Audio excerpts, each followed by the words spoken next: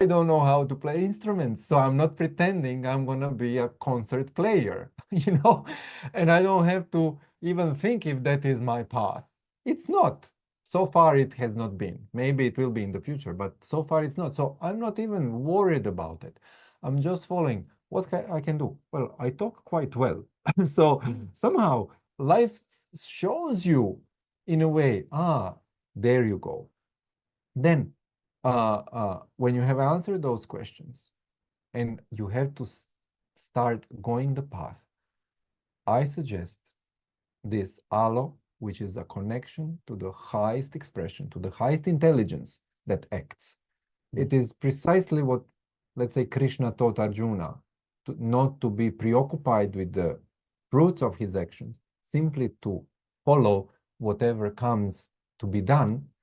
And, um, and this allowing, letting go, and surrendering truly puts you in the flow because the life as a river, for example, a river is already present in the source, on the way, and in the ocean. So it has already reached the ocean. You don't need to teach um, a river how to come to the sea.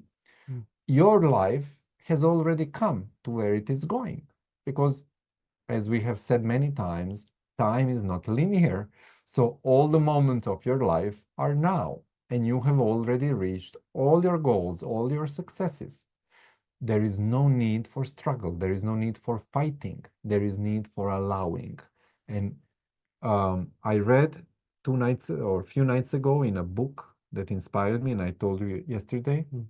what you seek is seeking you what you seek is seeking you the success you seek is seeking you it is already there and when you allow and when you let go you're actually not running around like a crazy, you know, chick chicken without head. You are stable so that the success can find you.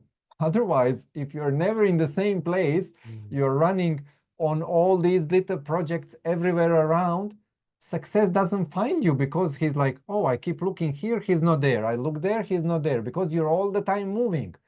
Stand still in your power. Allow, let go, surrender and success will find you because it is looking for you. Mm. So this would be the summary for this. Now, with your energetic knowledge, what else can they practically do? Yes, so now I can Please. talk about mm, first first uh, now I'm putting the hat of uh, psychosensory kind of uh, practitioner. Um, and so psychosensory means, you know, this sensory input plus where we activate the body, that we are connecting directly with the physical reality. And also we are connecting with the mind and um, the, let's say the mind, yeah, in, in this case. So I would like you to first uh, start, while we're gonna explore this, uh, I would like to ask you to start from the state. There's a state, we can work with states to start with. It's a state of what if. What if? Uh, in order to allow for something, um, there are few conditions from my perspective. First is this condition of, um, am I, there's a question, am I safe? And this question is first asked by the amygdala, uh, by the uh, little uh, organ in the in the brain, which is responsible for uh, relationship and survival of the body.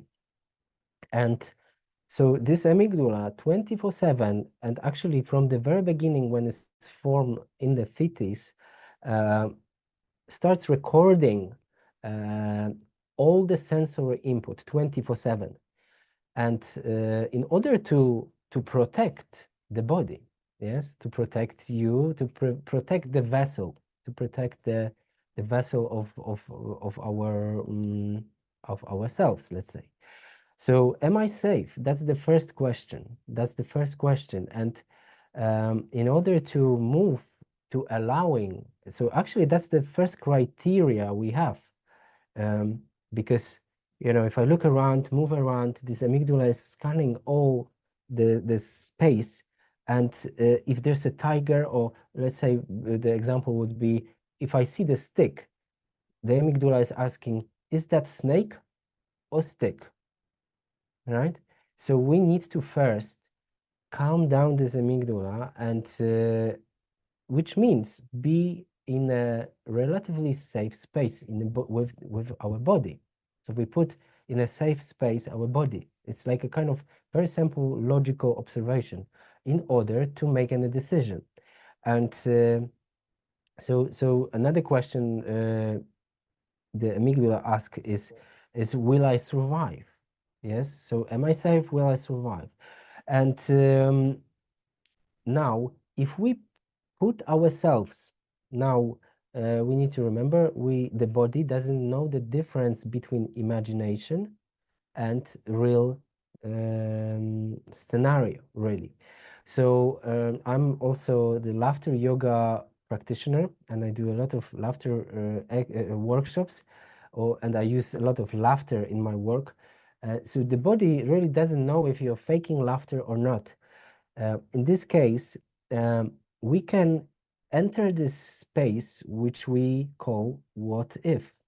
This is this, the first step because then we are opening the space for possibilities. Yes.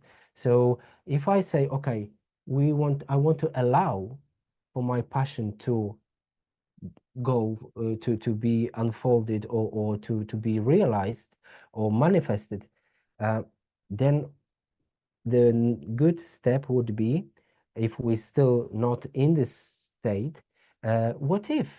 What if I am capable to do this? What if this is safe? What if um, I am safe doing this? Because from my perspective, really, this safety is the number one cause why we are not proceeding with our life the one the way we want. Mm. Can you imagine uh, all restrictions we have in life. Um, everyone is saying, no, don't do this. Uh, be careful because it's hot. Uh, from very beginning,